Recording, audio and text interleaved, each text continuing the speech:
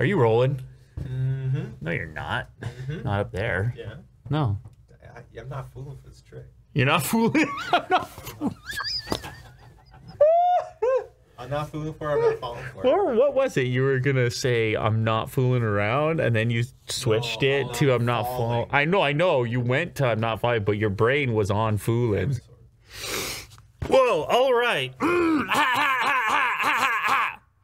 We got a bunch of products. Man, my goodness gracious. It was like a wheelbarrow just showed up in here with every product uh, that this company SwitchBot makes. It's all about automation and sensors. There's like a motion sensor, contact sensor. You can have stuff happen. You open the door, the curtains open, the TV turns on. It's uh, it's a lot. It's a lot of stuff. But it actually started with uh, this product, SwitchBot. This simple little box with an arm on it that can turn on any switch, even if it's not a smart switch. It- it- like it could be a light switch, a coffee machine, a computer. This arm will come out. It's on a motor and it will press any button. Like we installed one on a power bar over there so that you could click one button on your phone or never even mind clicking. You could just open a door over there and then everything powers up. Mo's been goofing around with this stuff for like a week and he has everything automated now. So we do nothing. It's just Mo has to enter a room and then everything, all the magic happens, and all of a sudden you get a coffee inside of a Yeti mug. I didn't get one of those yet, but I wouldn't mind one right now, actually.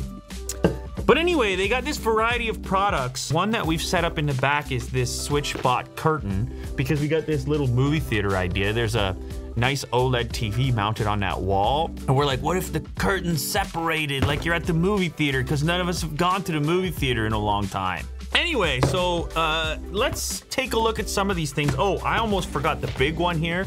This is a humidifier. Check this out. This gets crazy, all right? Listen to this. Maybe what you want to do is have this little sensor, also from SwitchBot, which has a thermostat and a humidity sensor Hygrometer. and a humidity sensor Hygrometer. and the ability to tell the relative humidity inside of your space. Hygrometer. How many times can I get him to say that? Hygrometer. Hygrometer. It's a stand for it. I'll tell you what, I'm not fooling for that one. Wrong way. Wrong way, Will. Good. all things considered. How is a humidifier going to be smart? Humidifiers are cool, actually. He was running the one over there. I was like inhaling a little bit. I was like, yeah, you got some moisture. Sometimes it can be a little dry in here, but I was surprised to find out it's not as dry as I thought it was. 65% relative humidity. Anyway, so imagine if you did this. Imagine this for a second. Yourself in a dry environment and you need to rectify the situation, but you don't necessarily want to monitor it yourself because you don't have to because you have all these smart things because you're a smart person. You have SwitchBot products. This smart humidifier is actually going to know when the humidity drops below where you might want it because these talk to each other and then the humidifier kicks on and maintains the relative humidity that you're looking for. You see that? All right, that's what smart people do. They keep it humid, but not too humid. Because it can't, I mean, humid outside right now. It gets sticky at times. It's all about getting that right, dialing it in. Let's open some of these boxes. Okay, so why don't we start with the humidifier since it's the biggest one? I should mention we have about a thousand of these. We have so many boxes sitting around, most stacked up. All these care packages, these kits with one of each of everything, so you can get smart yourself. Oh, by the way, there's also this solar panel. I know we're all over the place right now, but it's just a lot of products. It's also got this solar panel, uh, which will power some of the smart elements like the curtain rod so you never have to recharge it or replace the batteries so that when you enter the room you wake up in the morning it could be a door sensor it could be the motion sensor you just walk into the kitchen and then boom the curtains are open Thermostat also works with the curtains. What if it gets too hot in your space and you're not even home and the sun is beaming in and it's cooking everything that's sitting on the coffee table? the curtains will close because you put that setting in there. It's nice and cool when you get home and then they open back up because the motion sensor saw you.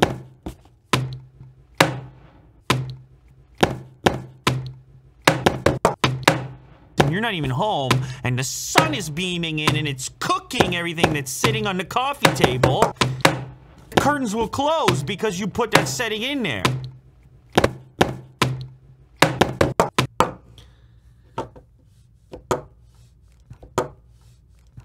Mo put together some care packages. You can win one of each of these things. It's honestly like 17 items times three. And then I think the company themselves is going to give away more stuff too. You're going to go down and check the description. And all of a sudden, Mo's in the video now moving lights around. Mo, say hello to the people. I mean, you can't just kind of sneak in like that and not say or show yourself or commit to it with a wave. I know Willie do also want to be involved in this video. He got a new house and how smart is your place right now? On a scale of zero to smart. Not smart enough. Not smart. It's a five out of ten. Yeah. Easy. Ugh. Here's the power adapter. This is an important uh, aspect of a. It's like a filter. And this is your humidifier. It doesn't uh, look all that different from a typical humidifier. But of course, it's got the important communication components in there so it can hook up to your network and be ready to go. This will soak in the water. At this point in the video, Mo is showing you like a really beautiful shot of just hum humidity. Just, it's not steam. It's steam. Is it steam? Yeah. Steam. Is it steam? Does it get water. hot enough in here to create steam? Anyway, Mo's gonna show you a beautiful shot of uh, air turning humid.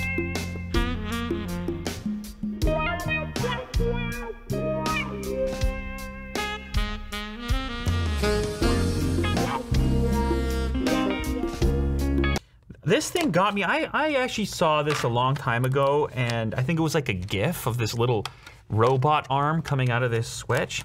Now, you might be thinking to yourself, why, why, Lew, would I have, why wouldn't I just replace the switch with a smart switch? Why do I have a switch hitting a switch? Why is there a bot? Why is there a switch bot hitting my switch? Well, sometimes you can't replace the switch. You might be uh, renting a space and you can't really do any extreme uh, modifications, or you might just love the simplicity of not messing around with wires. Because I'm not going to name any names. There's been people in this uh, in this place that mess around with some wires and they and they got a little bite back from it because you got to be careful with the wires. Yeah, Mo got shocked. He almost died. Yeah, exactly. Mo's barely hanging on right now. If he had had the SwitchBot, he wouldn't need to mess with it. He wouldn't have been needing to twist together black and red and this and that. He still might he might still be with us today. if he just had it gone SwitchBot. So anyway, so this comes with some 3M sticky stuff. You can attach it, like I said, to pretty much anything with a button. It could be your coffee maker. You just wake up in the morning, blam. Mo wants to come say hello to everyone. Mo, welcome, ladies and gentlemen. Ladies and gentlemen, welcome Mo. Look, you hit this flat button, and he left. So you hit this. This is what I wanted to see. Okay, perfect. Mo, unbelievable presentation. Ladies and gentlemen, we are so happy that he's still with us. and that the, his uh, failed light switch attempt from many months ago uh, did not end his uh, flourishing career. Let's run through. Let's run through everything quickly so we just understand the entire ecosystem. So I got carried away, obviously, with the SwitchBot itself. This is where the whole company started, the ability to trigger that. Now, this remote is, it acts as a wireless remote for, well, anything within the uh, environment here. Uh, the contact sensor can detect open doors and windows, but it can also trigger certain behaviors. As you can see, I mean, you can even go in there and have voice commands for it. It will work with Alexa, um, Siri, and Hey Google, and so forth. So you could have a sequence of events that takes place whenever a door is opened once you have that sensor on there. This is the Hub Mini, which is an infrared remote. If you have devices with an infrared in input like a TV, I guess some air conditioners have this infrared input as well, but there's a variety of products that use infrared. Then this will shoot an infrared signal at that device. You can set this up and control even more components that way.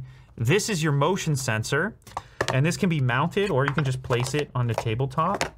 So it has a couple different components, including this little um, stand. So that's what the motion sensor looks like. And it just locks onto, just locks in like that. Or you can install it on the backside. So now I'm like mounted on a wall or something. So you have multiple mounting options. The uh, solar panel for SwitchBot curtain kind of looks like a smartphone actually. This provides non-stop solar power, so you never even have to think about the curtains anymore. Look at this Velcro mount. That's a fairly large solar panel right there. USB Type-C on the other side. As far as SwitchBot curtain goes, there's a few different models depending on the type of curtain that you have. This one is for a rod, so this is just a standard type of application. This is gonna roll across here and uh, it will be behind the curtains. You're not looking at this. The major part of the component goes behind the curtains, living on the rod. You also have a U-rail style for a different type of curtain installation. And then this one is the I-rail style. So just pick the right one depending on the type of curtains that you have. And then uh, I guess lastly is the SwitchBot thermometer and hygrometer, wireless temperature and humidity sensor, and it will track tendencies over time so you can see changes in your home as well. 24-7 high accuracy and alert. Look at this. It's not just at home. It's not just with the baby sleeping. Babies hate the dry environment, by the way. Uh, it could be in the fridge. It could be in the wine cellar, or it could be where you keep your hydroponics, or I guess where you grow your hydroponics. Wow. Imagine. Nope. This is, oh, there it is. This is the contact sensor. This is what it looks like. So simply by opening the door, these two little items, no longer in contact, acts as a switch. You could have the whole place power up simply by opening the door.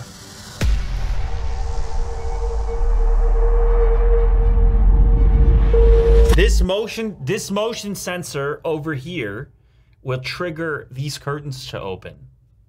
Let me show you.